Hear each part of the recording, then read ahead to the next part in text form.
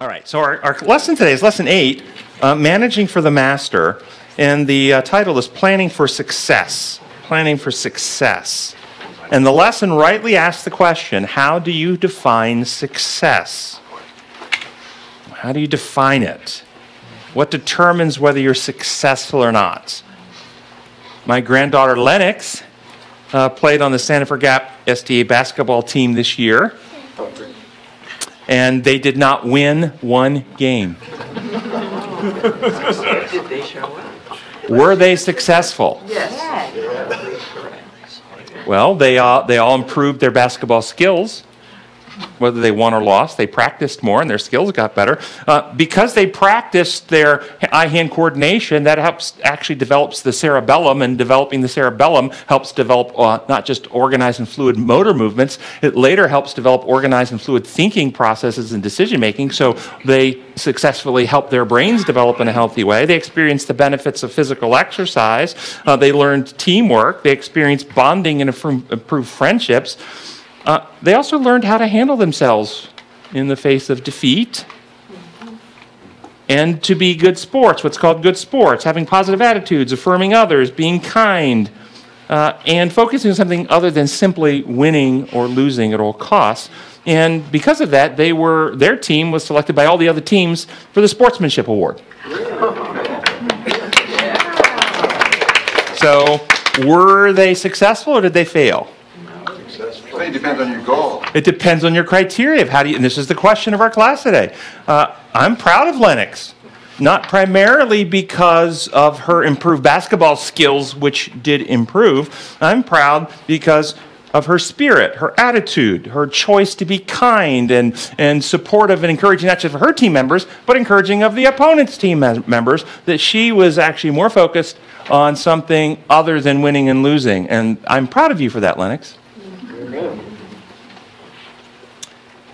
So, what is the standard that determines success in God's kingdom?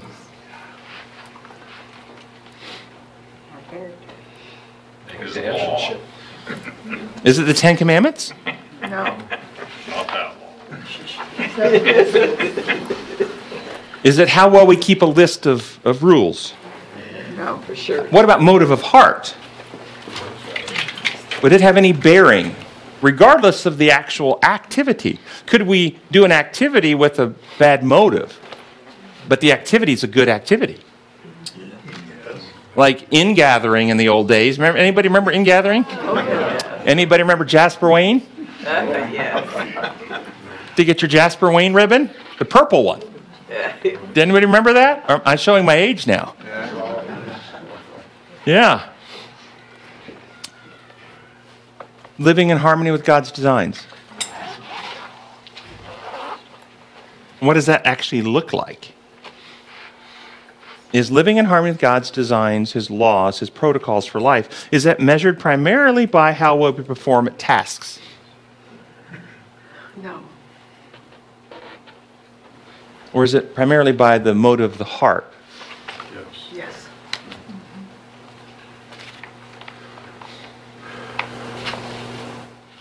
So could a success would a successful person be one who loves God and others, loves the truth, and has a heart to advance and grow in the truth, has a certain humble attitude that says, you know what, as much as I currently know, I know I'm finite, and therefore I'm open to have my ideas corrected and improved upon as more truth is made available to me, so I'm, I'm able to grow. And they look forward to growing. They're honest and kind and loyal and faithful, and they're trustworthy, and they have self control, the last fruit of the Spirit, self governance. They're mature. They have wisdom into the principles and methods of God. Is this what success looks like? Good step in the right direction. Good step in the right direction. Yeah. How does a person become like this?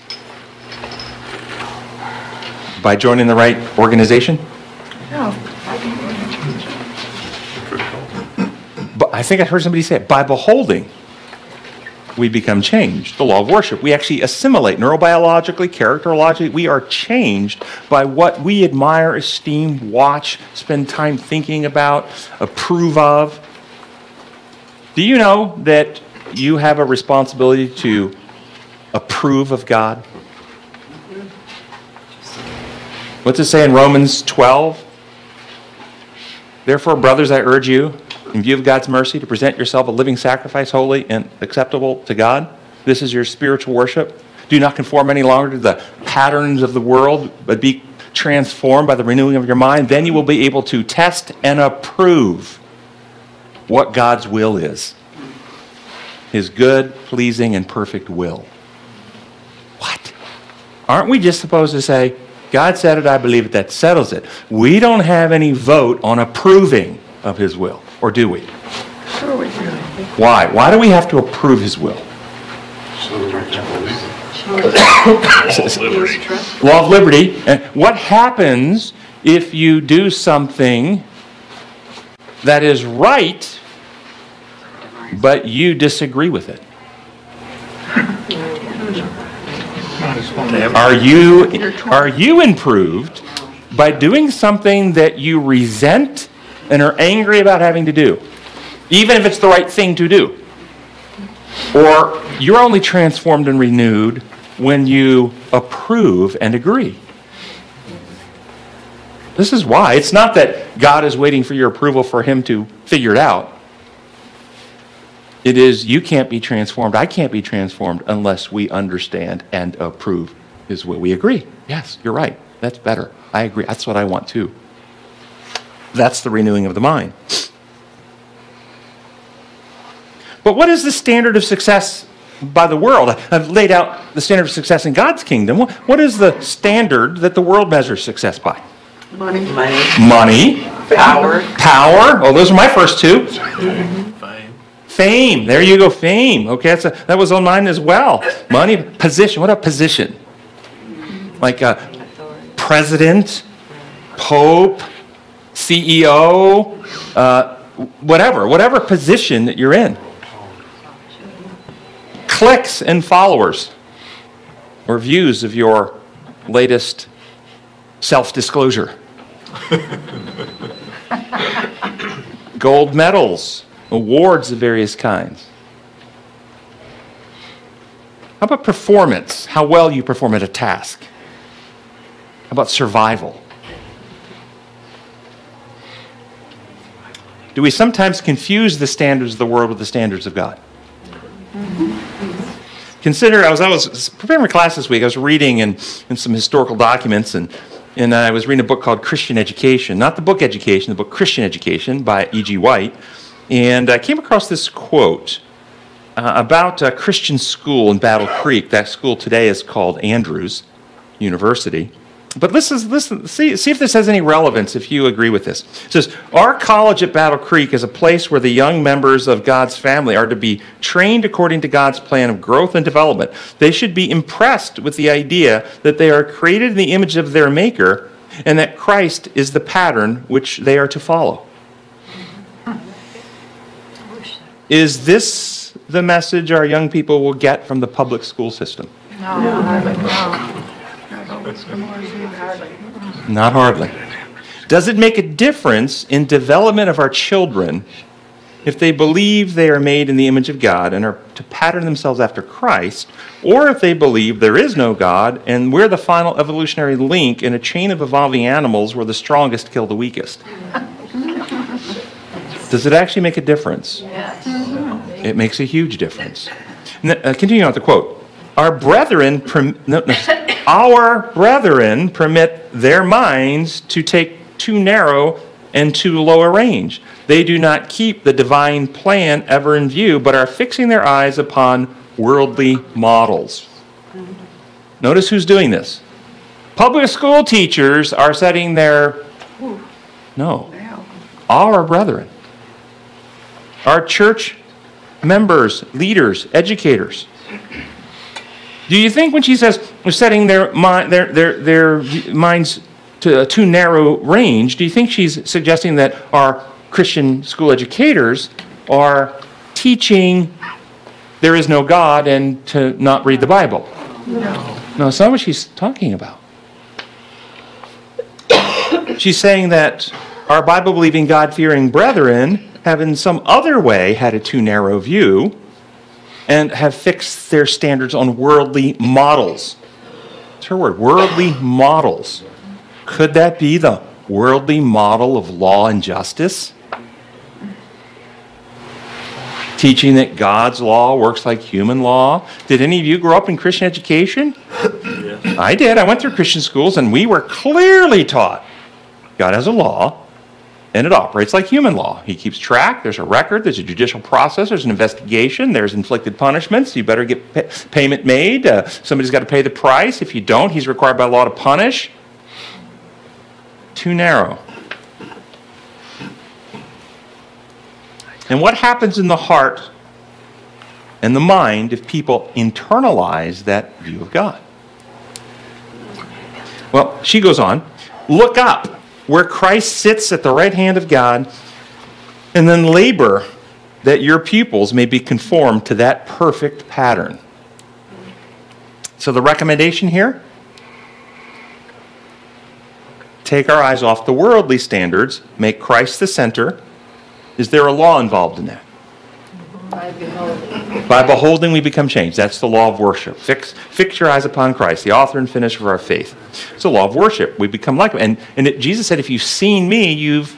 The Father. So we're not just to fix our eyes on Jesus and recognize how wonderful Jesus is. If we fix our eyes on Jesus and study his life, we will uncover that Jesus taught that when you're seeing him and recognizing him, you're actually seeing the Father. And so our ideas of God are to change from this imperial dictator worldly view to recognize that God doesn't function like human dictators. His law doesn't function. Continuing with the quote If you lower the standard in order to secure popularity and an increase of numbers, and then make this increase a cause of rejoicing, you show great blindness.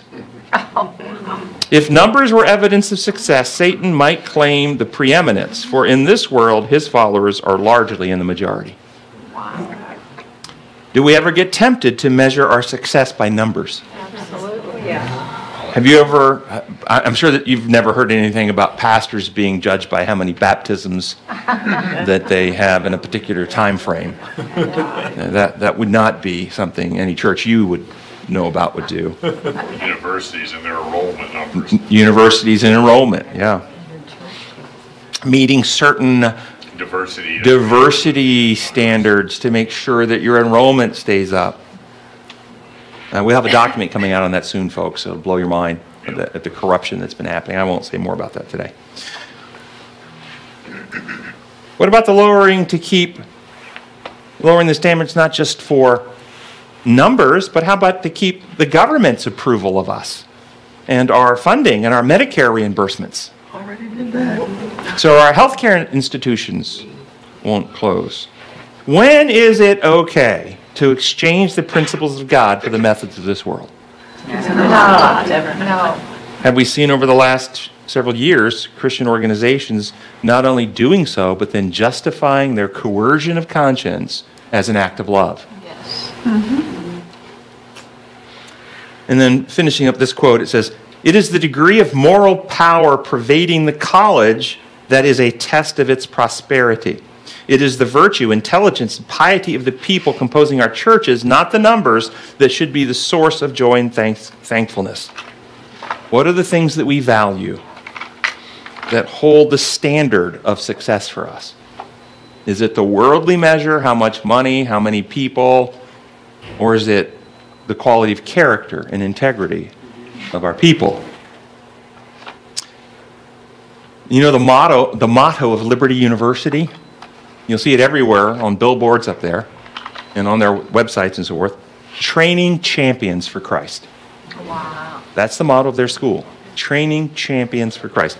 And in every leadership meeting that I've attended thus far, they make that mission central to all of their meetings. All of the, well, we have to talk about administrative this and how we're going to do that. It's always linked back to how will this help us train champions for Christ? Wow. That's the focus. How will this help us change, train, train, train champions for Christ? That's right. As I was thinking about this and preparing the lesson, I came across another quote. And this one is from Youth Instructor, February 7, 1901, 120 years ago. It says, It should be, uh, and, I, and my view is that if I were to present this to the faculty there, they would all embrace this and support this, I, the, these things taught. Let, us unpack them. It should be fi- the fixed purpose of the youth to aim high in all their plans for their life work. They should adopt for their government in all things the standard which God's word presents. What government?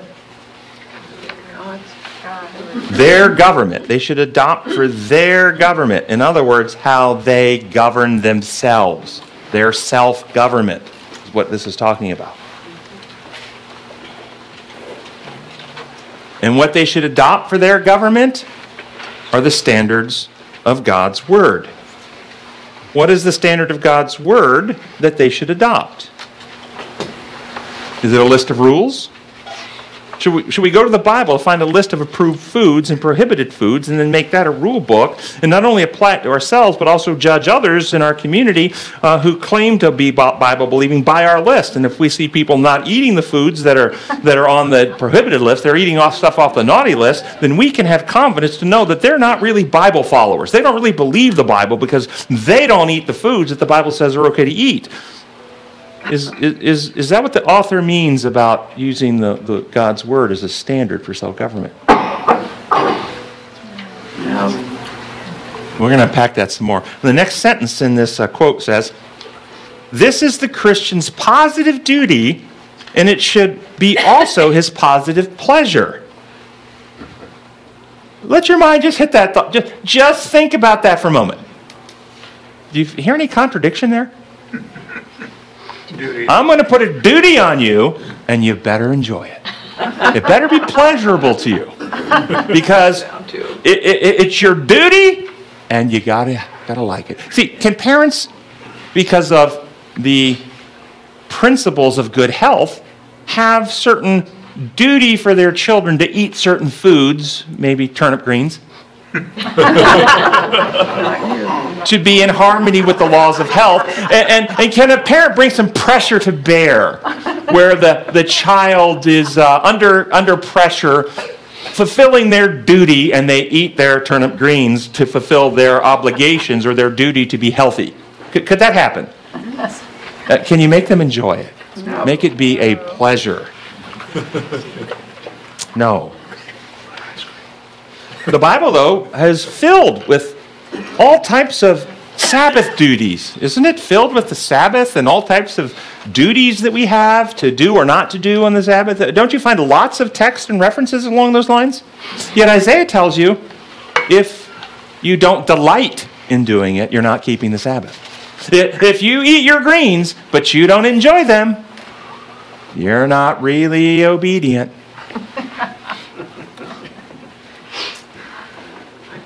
Is that confusing to anybody at all?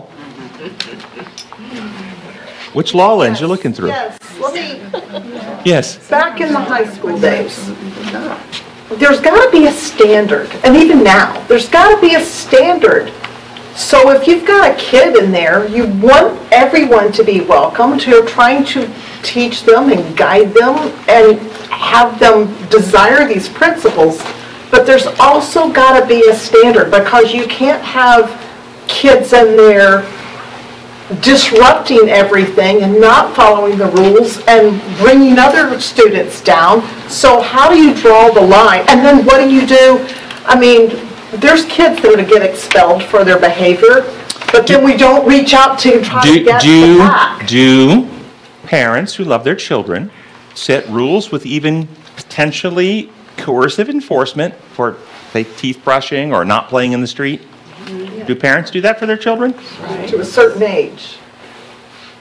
Does there come a time for the vast majority of people that they begin doing this without parental oversight? They, they have left home and they continue to brush their teeth and they actually don't play in traffic. How is it possible that they would do these things without parental coercive force? It's maturity. You, you. So back to, so you apply that in reverse to our religious rules or obligations or duties. Have we connected to our children reasons for brushing teeth and not playing in traffic? Have we connected reasons that as they mature, they're able to comprehend and realize? And then teeth brushing as a small child, I can remember it was a duty without pleasure. I had to do it, and I wanted to be playing. It was interfering with what was fun. I brush my teeth regularly, and I take pleasure in it. Happy to do it because I want to keep my teeth clean. I want to keep them healthy. I'm, I'm, my grandmother had false teeth. I really like having my own teeth. I take pleasure in that, don't you? Yes. Okay? And so something changed in my understanding of the duty, and that was design law, how reality works. I'm perfectly free not to brush, floss, and take care of my teeth, but I'm not free to have healthy teeth if I don't care for them. They will decay. And that hurts. God does not take our freedom. And so the problem that many people have had in the church with our children is we often teach them a potential rule or duty that is based on some higher principle design law, but we fail to connect it. And it's only out of obligation, out of rule. God said it. The Bible said it. Sister White said it. I said it. The teacher said it. The school has a rule. The church has said it. Okay, I'm glad they said it, but, but why? Well, because it's sin if you don't. And, and you don't want to sin. You sin, you have to be punished. And they go down this very childlike explanation. And if the only reason your child ever learned to brush teeth was because mommy has a rule, and if they don't, they get punished, and there's no other reason ever in their mind for it, when they move out, what do they do? They stop brushing. And this is why many people leave the church. They're told things that make no sense. They're never given real world explanations to the value. They don't understand design laws. And so the big principles we teach in this class, of course, are God's laws or design laws. You cannot have health while violating the laws of health. You can't have mental health if you're violating the laws of mental health. And there are laws that govern the operations of the mind. You can't have relational health while you're cheating on your spouse. You can't. It doesn't matter if you cheat and then fall on your knees and ask forgiveness. You, you, can't have, you can't have relational health until you have loyalty and trust. I mean, this is how reality works. The good news, if you have not been brushing and flossing and you got cavities and you go to a dentist and he fills the cavities and teaches you, you can start brushing and flossing and you can get healthy because you can't avoid the health benefits. Even if you were unhealthy, you can't avoid the benefits and the healing that comes from choosing to harmonize with God's laws. Can't avoid the harm for breaking, you can't avoid the benefits from harmony. That's how reality works. Continue with the quote cultivate respect for yourself because you are Christ's purchased possession. What's the big idea being taught here? Why should a person have self respect? According to this, what's the reason? We have value. Yeah, they have value, that's right, but why is the reason in this sentence that they have value? We belong to Christ. We belong to Christ. Okay, that's true. That's the fact. So, what kind of value is that? Value in what? I'm making a point. It's a big point. It's contrary to the world. What is the world value? In other words, your value comes for who, from who you are, not from what you do. Amen. You are a child of God. For God so loved the world, he gave his only begotten Son. Our value is in who we are as image bearers of our Creator, but the world doesn't value who we are. The world values how well you perform, what you do, how much money you earn, how well you can sing, how well you can act, how well you can, how fast you can run, how high you can jump, how many balls you can shoot through a hoop. And we value it highly because we will pay people who can hit home runs and shoot balls through hoops tens and hundreds of millions of dollars. Because we really value that. I know. But a person who will be a chaplain and visit somebody in the hospital, yeah, we're lucky to employ them.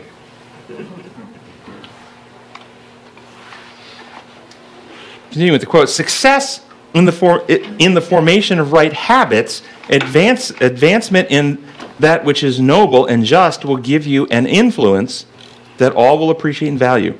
What determines what is noble and just? What is noble and just? Do you hear a lot about justice and just and doing what's just and just and justice in the world today? Is God's standard of justice and the world's standard of justice the same? No. God's standard of justice is love. Can't argue with that. One way to say it. There's another way to say the same thing. There's multiple synonyms for God's standard of justice. Love. You could say God because God is Love. love. Okay, so God is his own standard. God's character.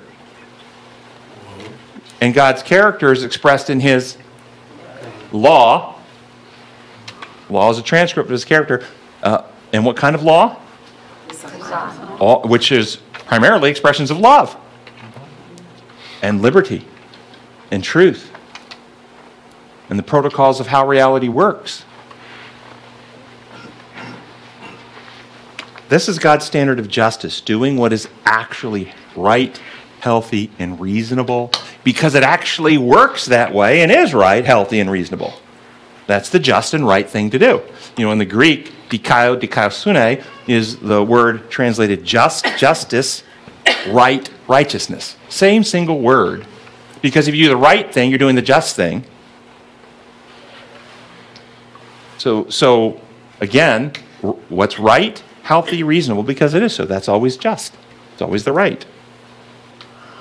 And how do you develop habits of any kind? Repetition. By choosing to do them repeatedly, and your brain rewires, you make neural pathways, and as you make those neural pathways, whether they're motor pathways like a certain golf swing or, or practicing a, a, certain musical instrument in your fingering, and pretty soon it becomes so easy you don't even have to think about it, or everybody in this room, uh, those who still brush their teeth, have a habit on how you brush your teeth. You start in the same, use the same hand with the brush, start in the same place in the mouth, go through in the same way every time. You don't have to think about it. It's a habit and you are free and intelligent beings. You might have read an, an, article that said, you know, if you actually use your offhand to do things, you create new neural circuits, and it has a, uh, a, dementia protecting effect, and your brain stays healthier. And there's actually science to prove to suggest that's true. And so you think, wow, that's good. I'm going to choose to start brushing my, my teeth with my other hand starting tonight. And if you make that decision in class right now, what's likely to happen when you go to brush your teeth tonight? you will brush it the way you've always done it with the dominant hand. And then you'll go to bed and you'll be laying there, and about 15 minutes later, you're going to go, oh, I was supposed to start with the other hand. and at that point, do you go, I'm dumb, I'm stupid, I can't learn, I can't change. Yeah, I'm, I'm pointing out to you because this is what happens with my patients in counseling. We will have certain patterns of habits of how they process, how they choose, how they relate, how they react. And, and I will, we will talk about how this is a healthier way and they will have an, enlightenment. They will see, oh, I get that. I agree. Yes, I'm going to start doing that. And then the next day they're out and something happens and they do the exact same old thing they've always done. And then sometime afterwards they go, oh, I was supposed to do it the other way. I'm stupid. I'm dumb. I guess I can't learn. And this is what they do and they quit. No, it's a habit. They did it because they weren't focused at the time. And it, just like brushing your teeth, if you want to change the habit, even though you've already brushed them, you've been in bed for 10 minutes, you get up and you go brush them a second time in the new way. and you might do that two or three nights in a row. And then what will happen is you'll be there halfway through your mouth and then you remember, oh no, and you'll stop and you'll be so happy you didn't get in bed first. and then you'll start with the new way. And, and, this is how habits change. And the more you do the new one, eventually the old one, and you stop doing the old one, the brain prunes back that old circuit and you establish a new one. These are habits change.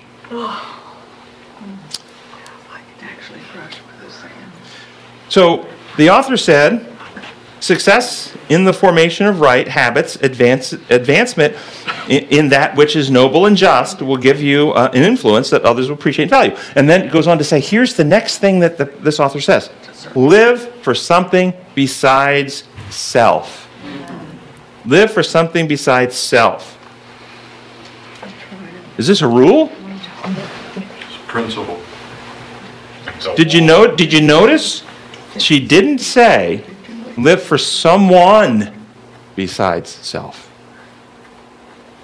Did you hear someone? Live for some other person?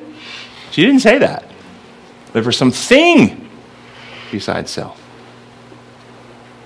I have many people who live for someone besides self. They're codependent, empty shells, constantly seeking to please other people, sacrificing everything to make that other person happy.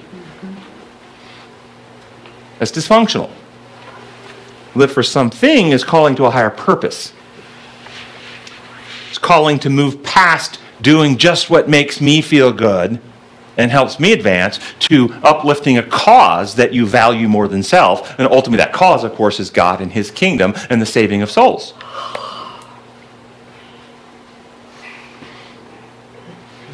But I asked this question earlier, I asked it again, but what happens if we use force to make a person do something that is beneficial to others that the person does not agree with?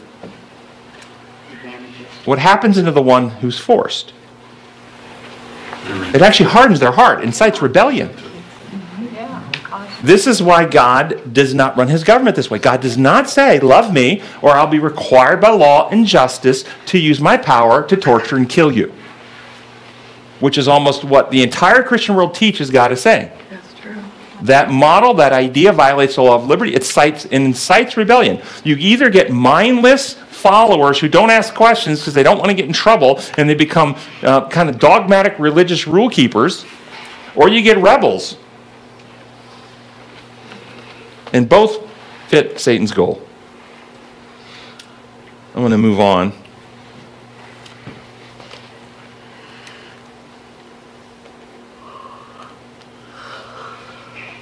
Well, no, I'm going to finish that quote. It says, if, your if your motives are pure and unselfish, if you're ever looking for, uh, for work to do, if you're always on the alert to show kindly attention and do courteous deeds, you are unconsciously building your own monument. That's what the quote says. Unconsciously building your own monument. What do you think that means?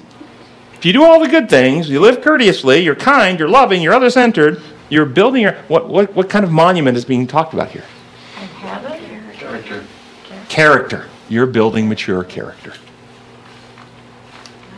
You're becoming like Christ. You're building a reputation of trustworthiness, of beauty of person, of reliability.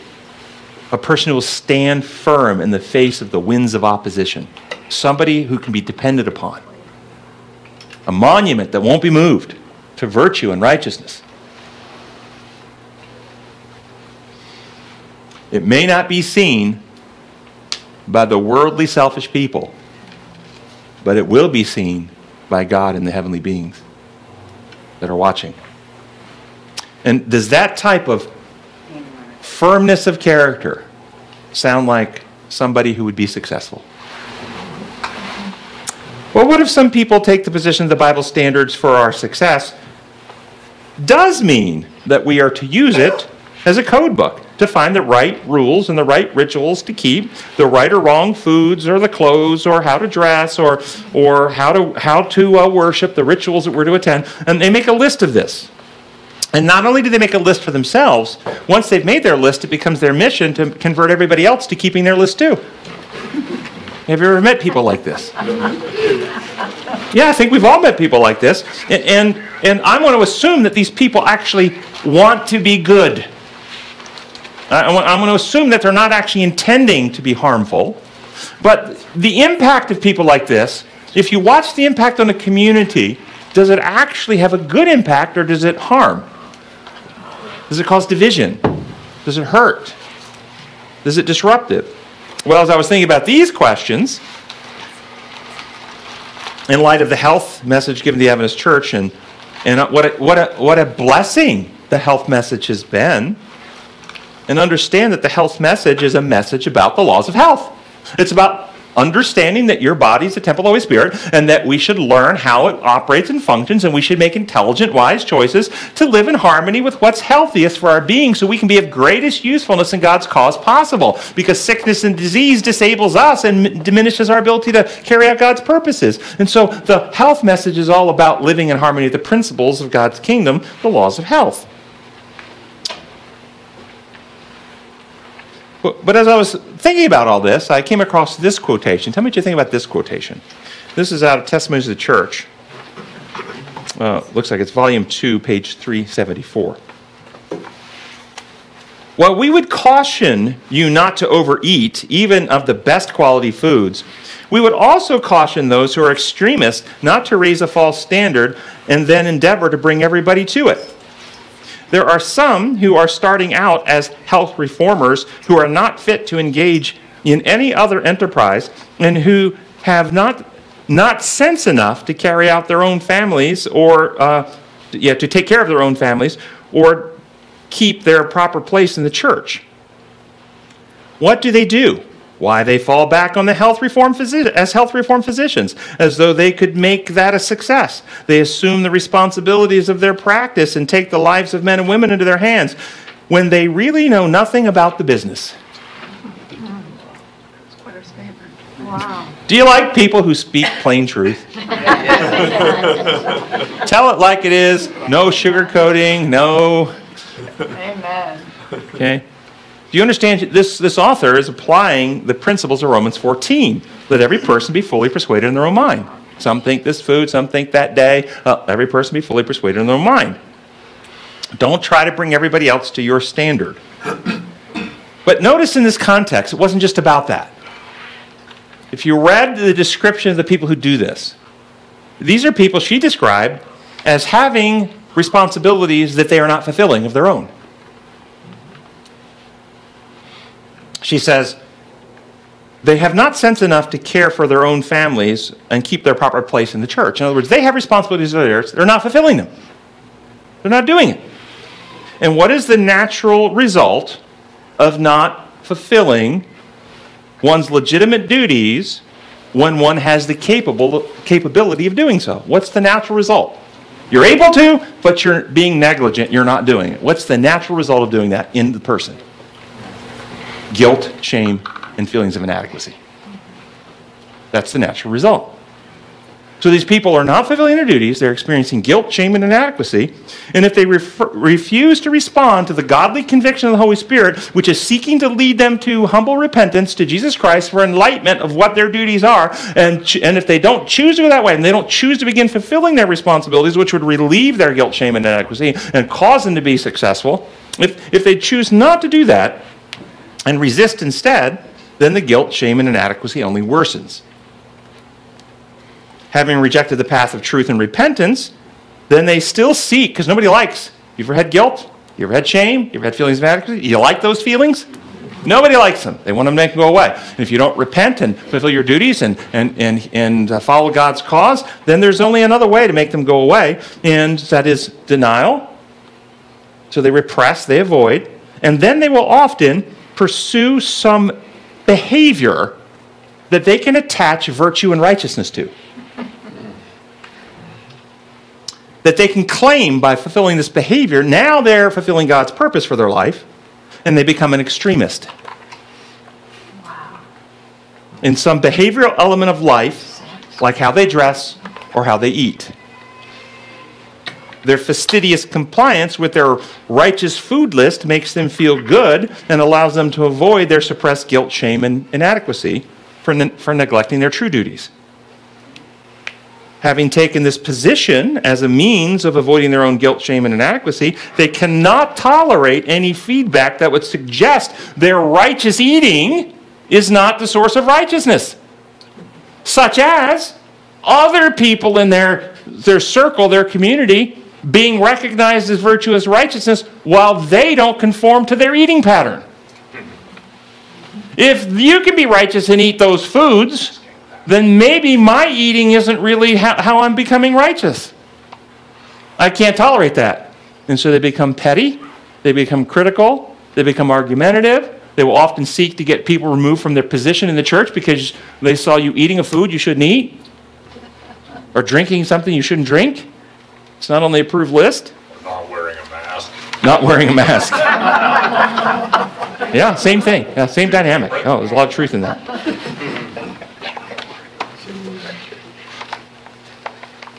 And so they have to promote their righteous list upon others in the community because it's integral to their way of coping with their own guilt and shame. Thus, they criticize, fault find, and so forth. Such an extremist almost always views their life as a success.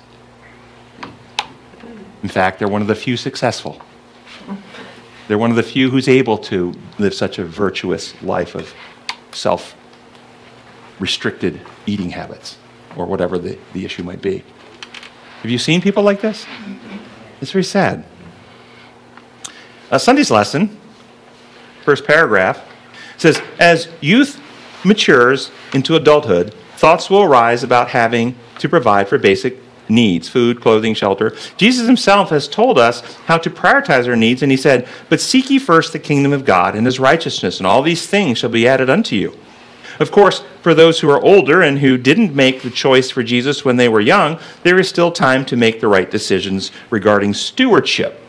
Interesting how they kind of drop that in there. Yeah. What do you think about Jesus' promise? Seek ye first the kingdom of God and all his righteousness, and all these things will be added unto you. Does that mean if you don't have adequate food, shelter, clothing, that means you're not seeking the kingdom of God? Does it mean if you don't have adequate food, shelter, and clothing, that all you need to do is have more Bible studies and prayer time and you will have those provided for you? No. But he said, if don't seek these things, seek first of God, and, and you won't have, it'll all be added to you.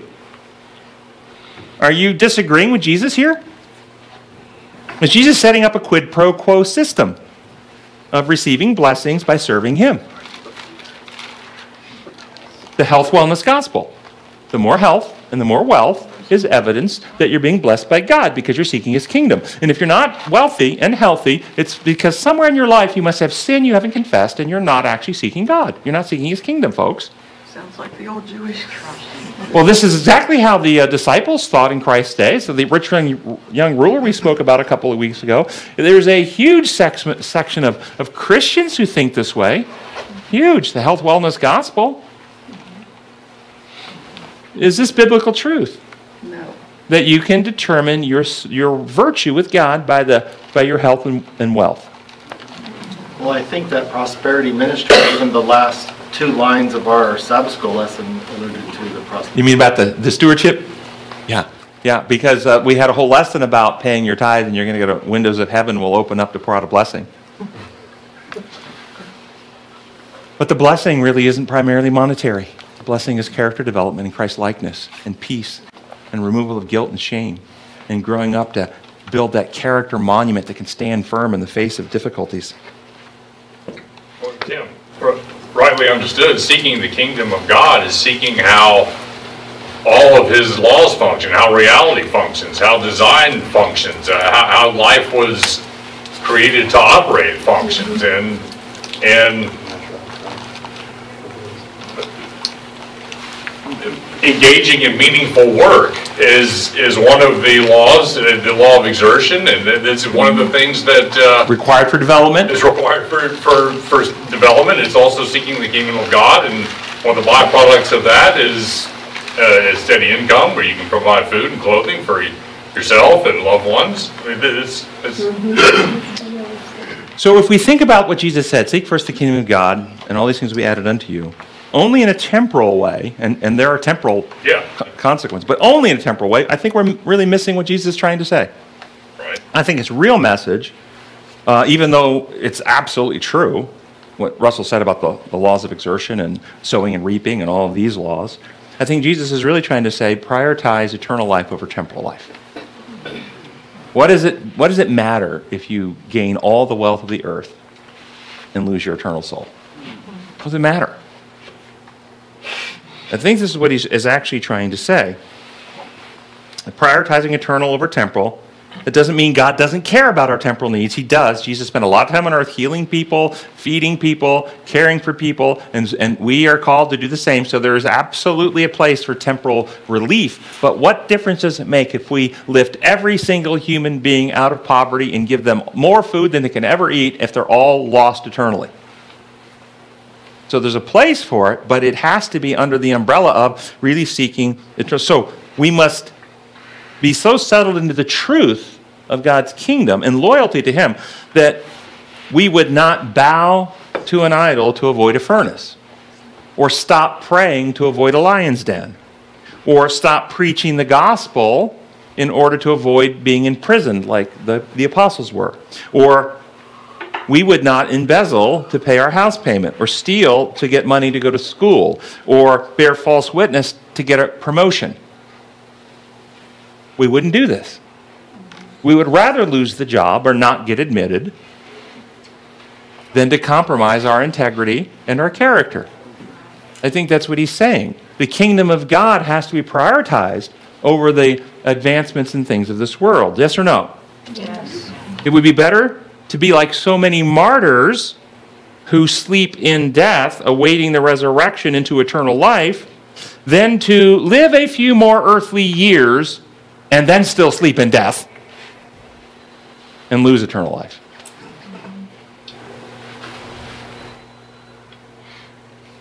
God's priority for everyone, his primary purpose for every single human being is eternal life.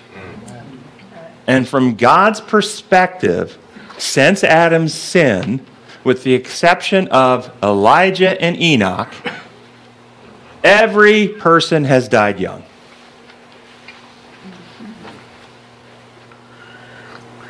Imagine a rope 93 million miles long from our sun to our earth, 93 million mile rope. It's, I mean, that's still a finite rope, uh, but it's still really too big for us to fully appreciate. But get your mind uh, as best you can 93 million mile rope. And every inch on that rope, every inch on a 93 million mile rope represents one year of human life. On a 93 million mile rope is 969 inches, Methuselah, significantly better than 10 inches, a child who dies at 10. Or, or it, it, on a 93 million mile rope, you can't tell the difference. It's insignificant. And that's a 90, that's a finite, infinite rope for all eternity. From God's perspective, everyone dies young. His primary concern is not primarily we live the Adventist health lifestyle and therefore live an extra seven years on earth. Now, there is a benefit. He, the health, he wants us to live the health lifestyle so we're more useful for him on earth. We can carry out more. We have, we're able to go serve and minister and share more rather than being sick and have to be cared for by others. So there's a place for it, but it's not primarily just to have seven more years of life in a sinful world and die eternally.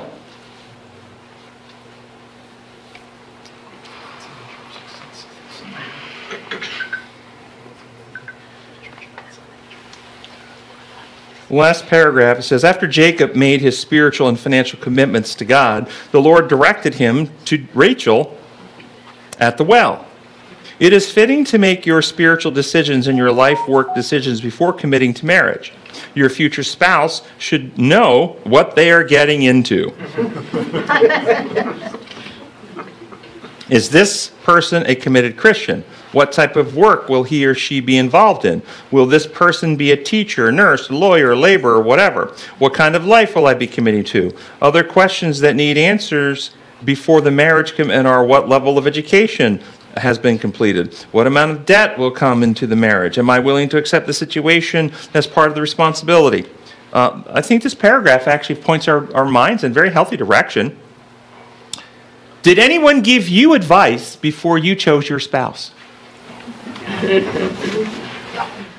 Anybody want to share what advice was given? Marry rich! I remember a Bible teacher telling us to trust God with the selection of our spouse. Now, I can't disagree with that. I think that's absolutely correct. I can tell you, though, at the time, I disagreed with that. But how? I disagreed with it because the view of God I held was he was a rule maker, an arbitrary person. He wasn't somebody that was really trustworthy. He might actually have me marry somebody who I didn't find attractive, but who had good character. Th- this was classic. I can't tell you how many pastors say, Oh, you're just looking at the surface. You need to look at the character. So I was convinced if I trust God that He would have me pick somebody who was ugly but had good character.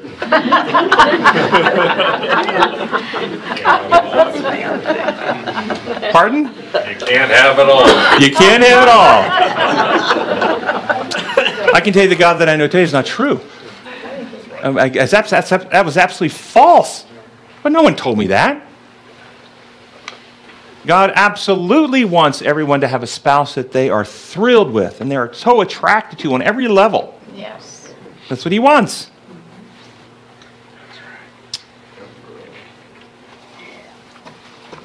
I think it's actually better for people to know God for themselves as a friend before they get married.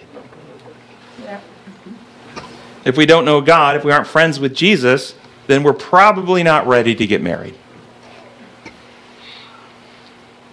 What do you think? So, what advice have you given to your children or grandchildren regarding finding out their spouse? Uh, have you given any advice to anybody? Don't be unequally yoked. We're going to come to that Bible text in a moment. Any advice you would give today that is different than advice you gave in the past?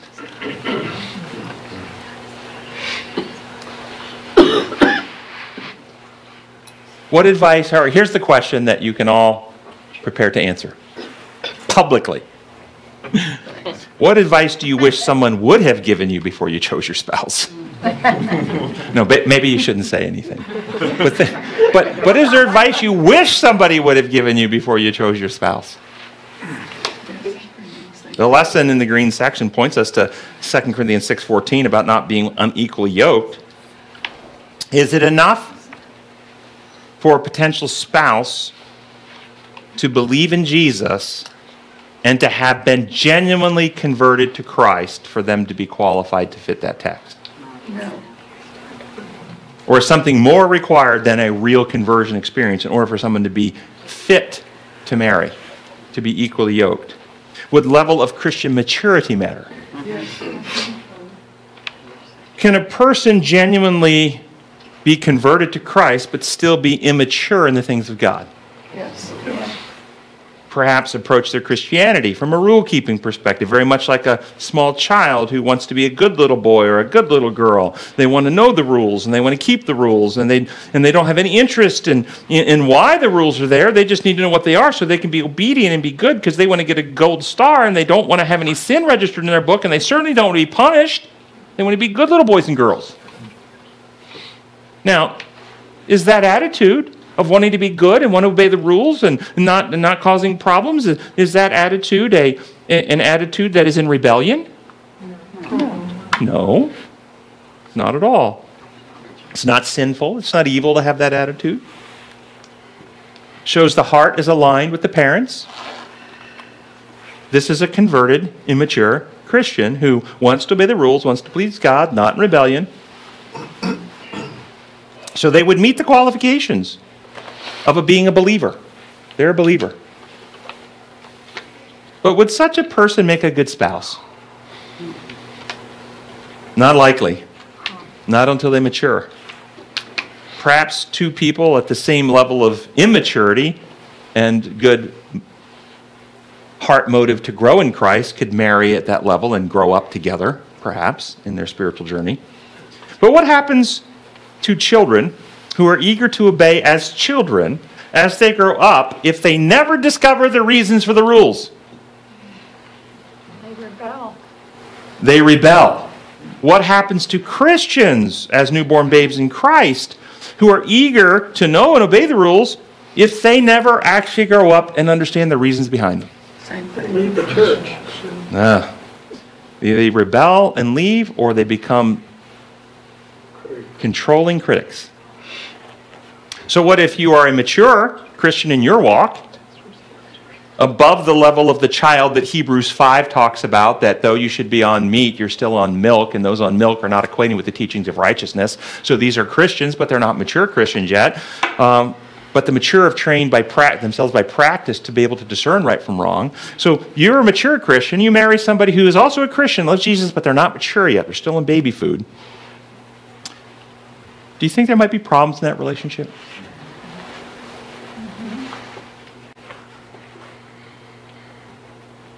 Could an immature Christian who wants to please God but has not, not yet fully grown up to understand the principles, and so they're still rule keeping, could they, with motive of love, see their spouse do a behavior that breaks the rules? And they're convinced their spouse is sinning.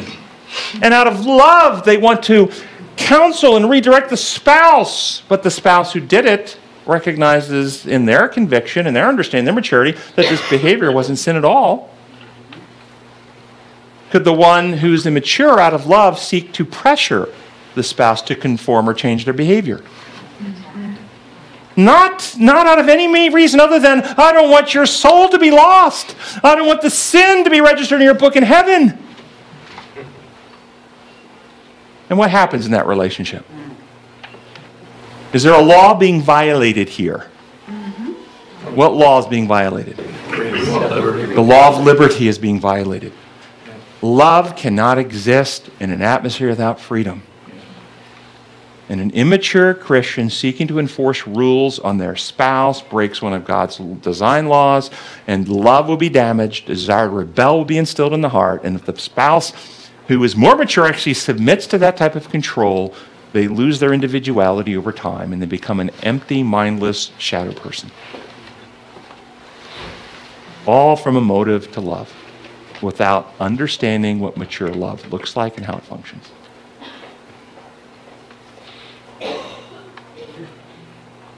Any questions about that? Other elements that are important in finding a spouse? So you want someone that, is it enough for them to belong to the same denomination? No. This, this spiritual maturity level is, is critical. Critical. Having somebody who not only has given their heart to Jesus Christ, but has grown up into the things of God and has moved out of the childlike relationship into a mature relationship, and they understand the principles of God and can apply them in intelligent ways. They have to actually have love for God and love for others. There are other things, though, that have been shown in studies that make marriages compatible. That's a compatible, not identical, but compatible IQ. Having a spouse that can comprehend and understand the concepts and things that you understand, and you can talk together about those things, is stimulating and intriguing and gives texture and, and, uh, and, and uh, uh, intrigue and excitement, and, the, and you can build. And, but to have somebody who's substantially different, where you can't really share in the discoveries and the ideas and the discussions, that can cause a rift to develop. So having compatible IQ has been shown one of the things that help marriages. Um, and then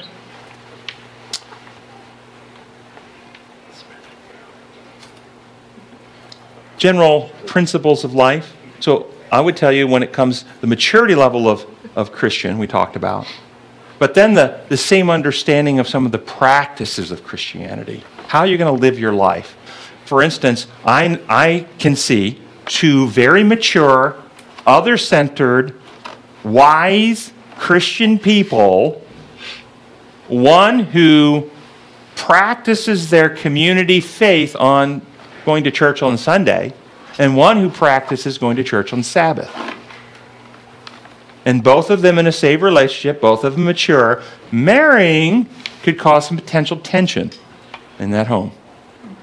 They may not be a good fit as marriage partners because of that.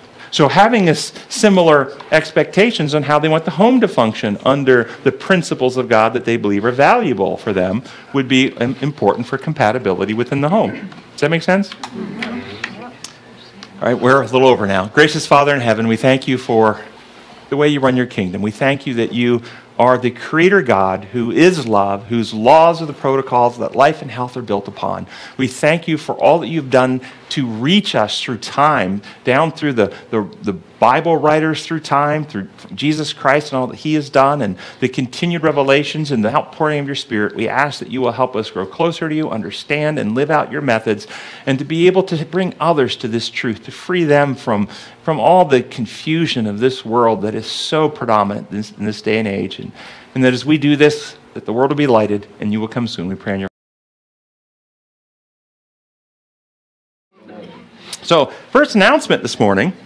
Uh, in response to some of the requests from our listeners, we have developed some billboard. Uh, Dean, do you have those? You put out? Okay, yes. So we have uh, these billboards that we've developed, and uh, in response to uh, uh, requests from some of our listeners, and we're going to drop sets of these out at probably every quarter or so. And if you'll notice, there's different layouts, and there'll also be different images, uh, which uh, have the same um, motto in each one. This one is discover the God that you can trust. So, the discover the God that you can trust. And some of our friends around the circle have asked, hey, do you have some billboards? We'd like to put a billboard up in our community. Do you have something like that? And so we've developed these, and we're going to put them on our website. Dean said they'll be re- ready for download tomorrow, so people can download them and use them in their community if they would like. Uh, there's no plan for Come and Reason at this point to be purchasing billboard space. We're just developing these for individuals who've asked us to have something that they could put up in their community. So that's our plan. And, and I think we'll be dropping a set of four of these at probably every quarter or so. Uh, and the, the file of these will just build on our website, and people can go and pick the one they want and use it if they'd like.